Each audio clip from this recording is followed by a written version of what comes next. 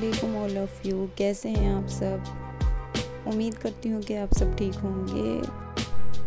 तो चलिए आज का ब्लॉग स्टार्ट करती हूँ मैं और हमें जाना था मार्केट कुछ थोड़ा सा घर का सामान था जो हमें ख़रीदना था। तो मेरे हस्बैंड जब आ गए साइड से तो फिर हम गए थे मार्केट खाना वगैरह खाने के बाद में। तो कुछ हमने सामान वगैरह लिया था घर का और ये कुछ टोस्ट वगैरह हमने टोस्ट वगैरह के पैकेट और केक रस वगैरह यहाँ से लिए थे बेकरी से। और यहाँ पर ये काफ़ी दिन पहले की मेरे पास वीडियो रखी हुई है जो कि मैं डाल नहीं पाई थी और एक जगह पर यहाँ, हमारे आसपास में यहाँ पर एक शॉप खुली है या फिर आप सेल भी कह सकते हैं क्योंकि जितनी भी यहाँ पर चीज़ें आई हुई हैं और काफ़ी अच्छे ऑफ़र प्राइस पे हैं यहाँ पर सभी चीज़ें।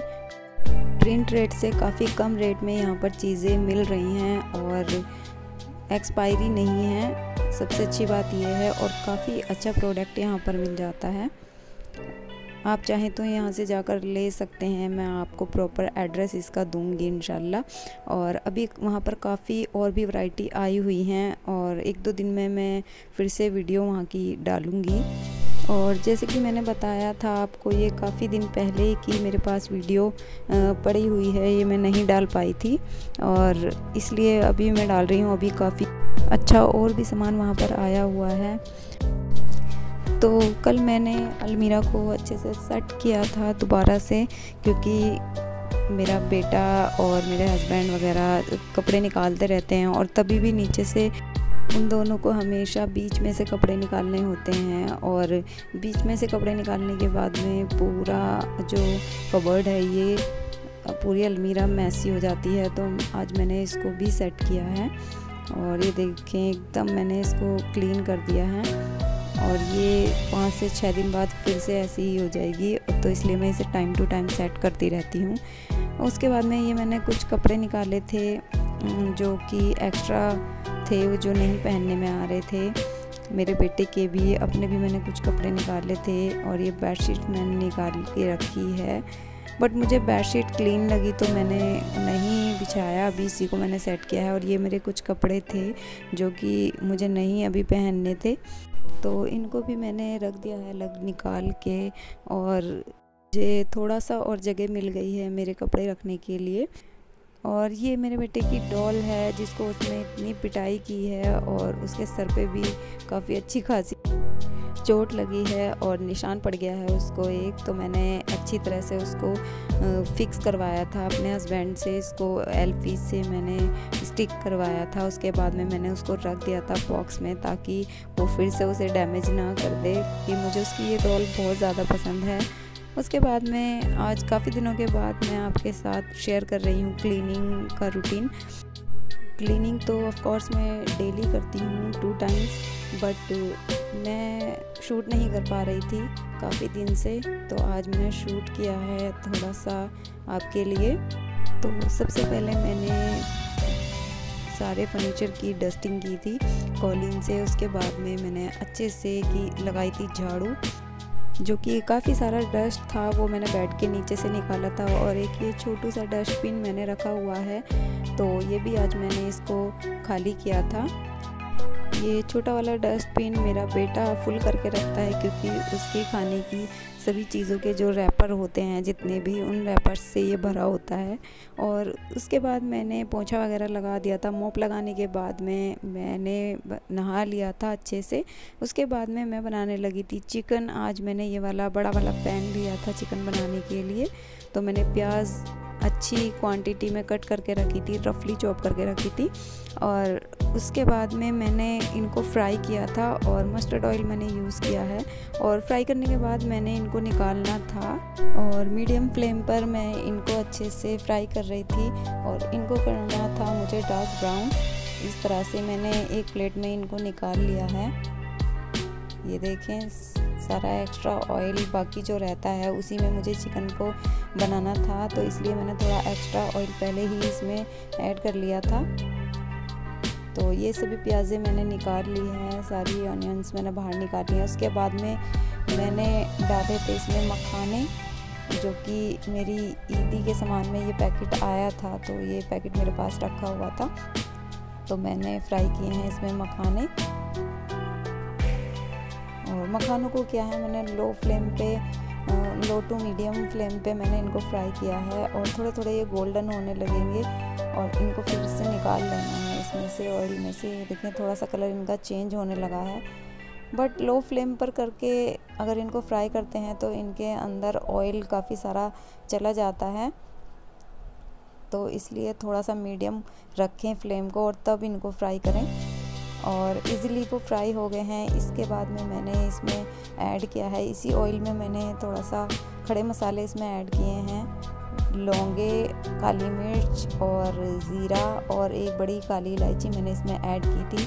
और कुछ देर भूनने के बाद में मैंने जिंजर गार्लिक और ऑनियन का पेस्ट डाल दिया है। ये देखें और अच्छी क्वांटिटी में मैंने इसमें पेस्ट डाला है क्योंकि चिकन में फिर ग्रेवी अच्छे से होती है तो और भी ज़्यादा टेस्ट आता है। तो मैंने सभी इसमें पेस्ट डालने के बाद में थोड़ा सा इसमें वाटर ऐड किया है और इसको मैं भून लूँगी अभी। फ्लेम को मैंने हाई कर दिया है और इसके बाद में मैंने डाले हैं इसमें तेज पत्ता इसका भी फ्लेवर काफ़ी अच्छा आता है, बिरयानी में या चिकन में या किसी भी नॉन वेज रेसिपी में ज़रूर यूज़ करना चाहिए। काफ़ी अच्छा फ्लेवर आता है इससे। और इसके बाद में मैंने इसमें हल्दी डाली है थोड़ी सी। और उसके बाद में मैंने इसमें थोड़ी सी लाल मिर्च का पाउडर ऐड किया है। उसके बाद में धनिया पाउडर मैंने इसमें ऐड किया है और इसको अच्छे से मैं मिक्स कर लूँगी। और इसके बाद में मैंने थोड़ा सा सॉल्ट इसमें ऐड कर दिया था लास्ट में। और थोड़ी सी मैंने इसमें लाल मिर्च ऐड की थी, सिंपल वाली जो मैं डेली में यूज़ करती हूँ और बाकी मैंने इसमें कश्मीरी लाल मिर्च ऐड की है। इससे किसी भी रेसिपी का कलर काफ़ी अच्छा आता है कश्मीरी लाल मिर्च से तो मैं ज़रूर रखती हूँ अपने पास कश्मीरी लाल मिर्च। तो इससे बहुत ही अच्छा कलर आता है सब्ज़ी का। और इसके बाद में मैंने थोड़ा सा पानी ऐड किया है और लो फ्लेम पर मैंने छोड़ दिया है मसाले को अच्छे अच्छे से भुनने तक के लिए, ताकि मसाला अच्छे से भुन जाए। उसके बाद में ये मखाने और प्याज मेरी फ्राई हो चुकी है, उसको मैं चेक कर रही हूँ। ये मुझे प्याज हो गई थी ठंडी और अच्छे से क्रंची भी हो गई थी और अब मुझे इसे क्रश करना था इस तरह से। और ये बहुत ही इजीली क्रश हो रही थी। काफ़ी, प्याज तो अच्छे से ठंडी हो चुकी थी क्योंकि प्याज मैंने पहले फ्राई की थी और उसके बाद में ये मुझे मखाने भी इसी तरह से क्रश करने थे। बट ये बहुत ज़्यादा गर्म थे तो मुझसे नहीं हो पा रहे थे और काफ़ी टाइम भी लग रहा था ऐसे और क्योंकि मैंने बताया था इसके अंदर ऑयल चला गया था। तो ऑयल की वजह से भी ये कुछ ज़्यादा गर्म लग रहे थे। तो इसलिए मैंने हाथ से इसको नहीं मैश किया था। मैंने अदरक जिससे हम कूट के चाय में ऐड करते हैं, वो कूटनी होती है। उसी से, छोटी वाली से मैंने इसमें ये सारा सामान कूटा था। ये मखानों को अच्छे से इसमें कूट लिया था। इसमें का बड़ा मेरे पास नहीं है तो फ़िलहाल मैं इसी से कूट रही थी इसको। और इसके साथ में मुझे एक और चीज़ ऐड करनी थी, इन दोनों चीज़ों को मैं मिक्स करूँगी।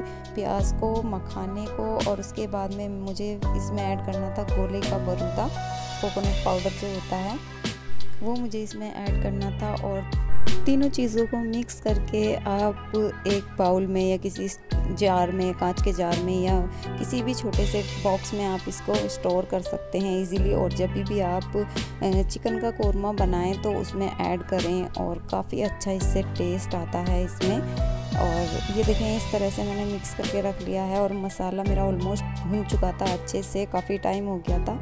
मसाले को भूनते हुए तो अब मैंने इसमें जो अच्छे से मैंने वॉश करके रखा था चिकन उसको मैंने कट्स लगा के रखा था। छोटे छोटे मैंने कट्स लगा दिए थे चिकन में, और उसके बाद में मैंने चिकन को मसाले में डाल दिया है। और इधर मैंने एक साइड पर एक बोल में दही निकाल लिया है। ये देखें, और इसको अच्छे से मिक्स कर लिया है, और दही के साथ मैंने जो मिक्सचर ऐड किया था, प्याज मखाने और कोकोनट पाउडर, उन तीनों का मिक्सचर जो था वो मैंने इसमें ऐड कर दिया है और हल्का सा मैंने इसमें वाटर ऐड किया है। उसके बाद में मैं इसको चला दूँगी अच्छे से और कवर करके मुझे इसे पकाना था और फ्लेम को करना था लो तो देखें, उसी तरह से मैंने कोकोनट पाउडर इसमें मिक्स करके और एक छोटे से मैंने बॉक्स में इसको स्टोर करने के लिए रख दिया है और इसको मैं स्टोर कर लूँगी नेक्स्ट टाइम तभी भी मुझे बनाना होगा चिकन कौरमा तो मैं उसमें ऐड कर लूँगी और इससे ग्रेवी काफ़ी अच्छी हो जाती है थिक हो जाती है और काफ़ी ज़्यादा टेस्ट उसका बढ़ जाता है। तो इसलिए मैंने इसको थोड़ा सा बना के स्टोर भी कर लिया है, थोड़ा एक्स्ट्रा मैंने इसमें बनाया था और जो कोकोनट पाउडर था मैं इसमें डालना भूल गई थी तो अभी मैंने इसको मिक्स कर दिया है, इसी में डाल दिया है मैंने इसको। तो ये देखिए मैंने ऊपर से इसको ऐड किया है और जो मैंने दूसरा वाला रखा था, उसमें मैंने मिक्स करके रखा है साथ में ताकि फिर से मैं स्किप ना कर दूँ, भूल ना जाऊँ उस टाइम इसलिए मैंने जो स्टोर किया है, उसको मैंने मिक्स करके रखा है कोकोनट पाउडर के साथ।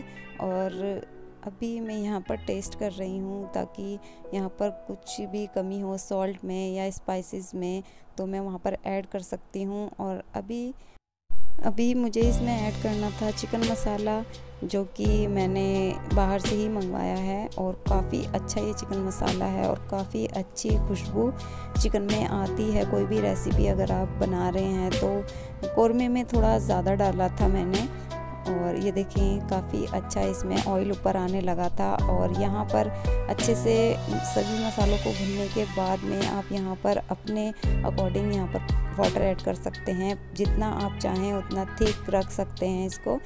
और मैंने थोड़ा सा पानी यहाँ पर ऐड किया था, उसके बाद में मैंने 15 से 20 मिनट इसको कुक किया था मीडियम फ्लेम पे। और उसके बाद में मैंने थोड़ा सा हरा धनिया चॉप करके रखा था, उसको भी मैंने यहाँ पर डाल दिया है। ऊपर से। ये देखें ऑयल अच्छे से ऊपर आ गया है और काफ़ी अच्छा रोगन इसमें आ गया है। और उसके बाद में मैंने एक बार फिर से इसको कवर कर दिया है और गैस की फ्लेम को कर दिया है मैंने ऑफ़ और ये देखें चिकन कौरमा मेरा रेडी है। और अब मैं इसको एक बार अच्छे से चेक कर लूँगी कि ये अच्छे से गला है या नहीं। तो ये देखें ये अच्छे से टेंडर हो गया है।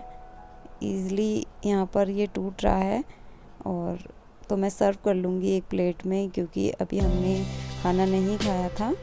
तो ये देखिए, मैंने एक प्लेट में सर्व कर लिया है और ये काफ़ी टेस्टी बना था और ज़्यादा स्पाइस मैंने इसमें यूज़ नहीं किए हैं। कश्मीरी लाल मिर्च सिर्फ़ कलर के लिए डाला जाता है, वो ज़्यादा वो ज़्यादा स्पाइसी नहीं होता है। तो मैंने खाना लगा दिया है और अभी हम खाना खाने लगे थे। और ये नेक्स्ट डे का है तो मैंने तोरी बनाई थी और मुझे थोड़ा सा सॉल्ट ज़्यादा लगा था तो मैंने थोड़ा सा आटे का गोला बना के उसमें ऐड किया था। और उसके बाद में मैंने बनाया था डोसा तो उसके लिए मैं बैटर बना रही थी डोसे का। ये देखें, थोड़ा मुझे ये गाढ़ा लग रहा था, थोड़ा थिक था ये। तो अभी मैं इसको थोड़ा सा पानी ऐड करके थोड़ा सा मुझे पतला करना था। तो आगे का ब्लॉग मैं शूट नहीं कर पाई तो इन फिर मिलूँगी नेक्स्ट ब्लॉग में। अगर वीडियो अच्छी लगी हो तो प्लीज़ वीडियो को लाइक करें शेयर करें और चैनल को सब्सक्राइब करना ना भूलें। मिलती हूँ नेक्स्ट ब्लॉग में, तब तक के लिए अल्लाह हाफिज़, दुआओं में याद रखें।